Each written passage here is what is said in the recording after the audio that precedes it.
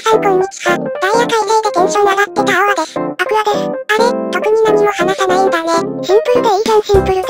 それで、今回は青和が担当なんだってね。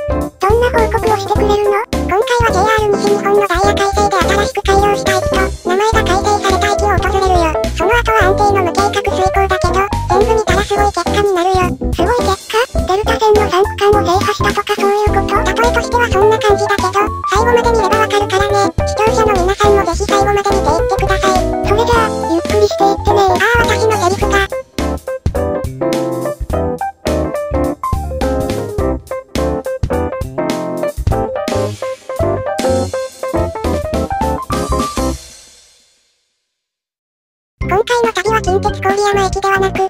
郡山駅からのスタートです。路線図にもしっかり新線区間が記されていますね。直通快速の行き先が新大阪行きってことは、新しく印刷し直したんだろうね。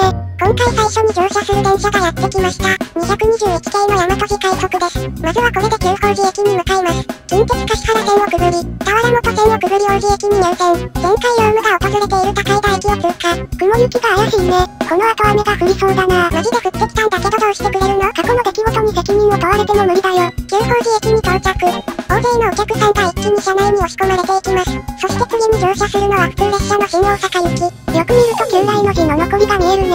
突然の大雨となっておりますが、201系で JR の駅に向かいます。いきなり新駅に行くんだ。ふっふっふ、この日はダイヤ改正初日だからね。大阪東線の新しい4駅を全駅下車していくよ。4駅を全駅下車？時間がかかりそうだね。そのために早朝から出てきて6時台の快速に乗ったんだよ。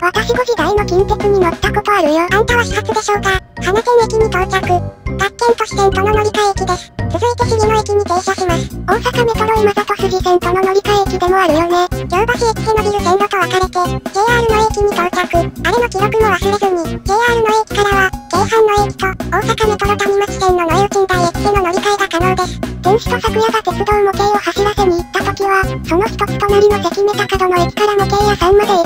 走行後には野湯近代駅へ移動したんだよね。それいつの話 ?201 系てんこ盛りな大阪東線。次の車両で次の駅、白北公園通り駅へ行きます。はい、記録します。なんか響きがいい名前だね。ここは見て思ったことがあってね。ホームが広い。安定の201系。乗るのも201系。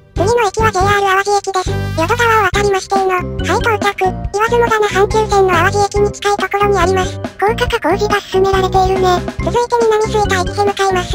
次の201系はヘッドマークが掲げられておりました。阪急線をまたき、東海道新幹線をくぐります。南吹田駅に到着。カーブ駅となっており、旧宝寺駅方面のホームから撮影すると綺麗な写真が撮れそうな駅でした。駅の中はこんな感じ。これは前にひなが言ってた若い綿駅を思い浮かべるな。そんな例え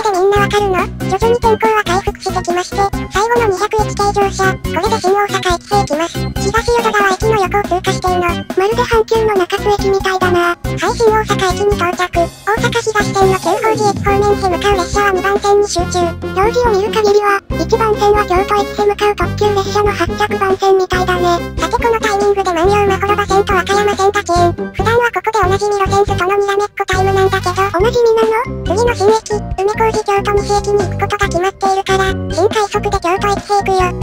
駅方面への列車には遅れが少々目立ちますが、223系で京都駅へ行きます。敬語とタメ口の入り乱れが、それいつものことじゃないかな。大阪東線とはジャフェマフィフェ。なんて ?201 系を見つけて、高槻駅発車後に321系と少し並走。よく見ると323系がいるあの車庫を見ての。桂川駅を通過していの。京都駅に到着したら奈良線にも遅延が。よくあるよね。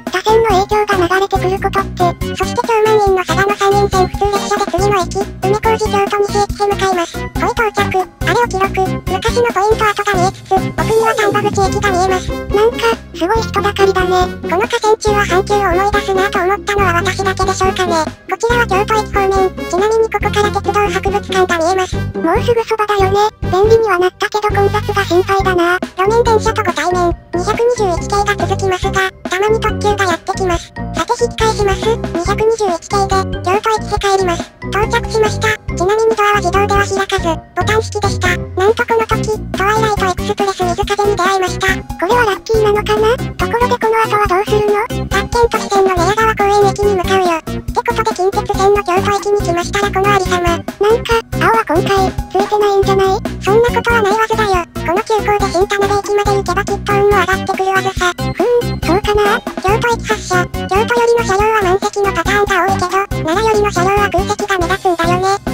京阪宇治線をまたぎ、南下9020系がいて、新田辺駅到着。ここからは JR 学研都市線の京田辺駅平道です。まだ乗り換えで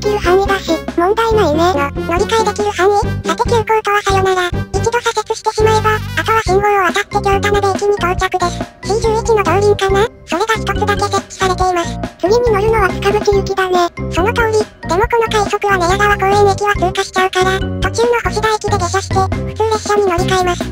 とその前に松江山手駅方面からの電車を待ちます。京阪線をくぐります。星田駅に到着です。寝屋川公園駅は隣の駅なんだね。そこ日は321系に乗車。お隣の駅なのであっという間、到着で2022線の島式ホームの寝屋川公園駅は、普通と区間快速が停車します。通過列車をパスして、区間快速で東西線に突っ込んで、阪神線に乗車します。いや突っ込むってどういうことなのさ、え、阪神なんだろうこの読み、321系が待っていてんの。さっき乗車した大阪東線の線路と合流してんの。複々線を走行してんの。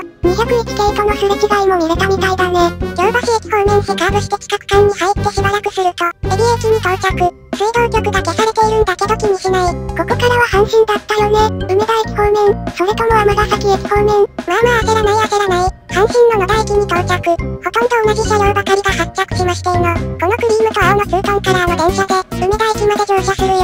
あ、都会の方へ行くんだね。はい到着。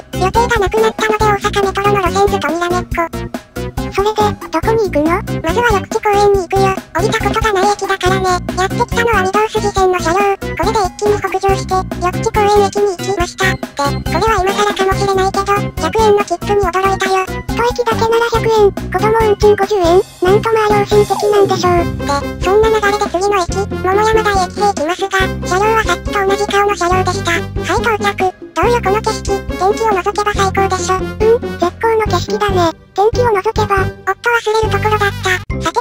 山台からは、吹田市役所が近い南千里駅まで歩いていきます。広い道の横をずっと歩けばたどり着けるので、問題なく行けますよ。桃山台って名前があるだけに、坂があったりマンションや団地があったりと、人口が多そうだね。はい何事もなく南千里駅到着。3300系はパスして、なんかこの漢字はどこかで見たことあるよ。うな。ああ、南海線の林間田園都市駅も、島式ホームなのに線路が削られていたよ。ね。そういえば確かに、え、削られた ?1300 系の天座茶屋行きで、淡路駅へ向かいます。あれ淡路駅で乗り換えずに境筋線に入っちゃえば楽なんじゃないの？最初にも言ったけど、これ話を後から聞けばすごい結果になるんだよ。なぜ淡路駅で降りて乗り換えをするのか、よく考えておいてね。これって過去に仲間が報告した回も含まれるそれはどうかな堺筋線の車両とすれ違い、JR 京都線の下を通り抜け、すごくくねくねしている区間を走行して、すれ違いがまたあって、淡路駅到着。そこにいるのは準急の京都河原町行きですね。で、普通列車で梅田駅へ向かいます。大幅カットで到着。なんて強引な。食堂街を横目に、JR の大阪駅へ、221系で、大阪環状線の鶴橋駅まで乗車します。なんか、新快速と学研都市線以外は221系と201系ばかりだね。京橋駅発車後、川を渡ります。201系てんこ盛りって言いたいけど、323系の装備で少なくなってきているね。鶴橋駅到着、お見送りします。次に乗車するのは近奈良行き急行なんかさっきも乗車駅は違えど同じ種別と同じ行き先の電車に乗った記憶があったような。ちなみに乗るのはこっち側です。不正規の手前で、大阪線と奈良線の線路に分かれます。東花園駅だね。近鉄生駒線と離れます。また天気の悪運か。青はやっぱり雨女なんじゃないのなんでそうなるの大和西大寺駅に到着。天理行きが停車しているね。では発車して奈良方面へ向かいます。平城宮跡を通過していきます。新大宮駅の踏切を通過。奈良駅到着。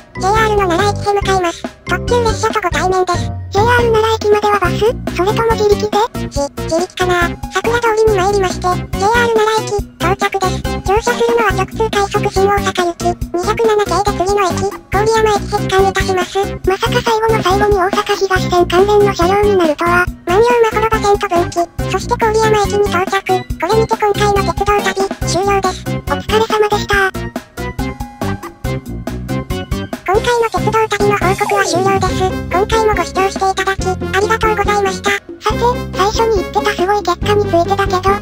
く分かってきたよ。お、気づいた？それじゃあわかるところ、答えてちょうだい。ズバリクロス乗車、前回の業務の回を含めてしまうけど、その結果にたどり着いたよ。アクア。正解、阪急だと天座茶屋駅方面と河原町駅方面の線路を、今回で北千里駅方面と梅田駅方面の線路を利用したことによるクロス乗車、楽天都市線と大阪東線でも、旧宝寺駅方面の線路、岐阜駅方面の線路、京橋駅方面への線路、新大阪駅方面への線路、それぞれ利用したね。うまく伝わらない解説かもしれない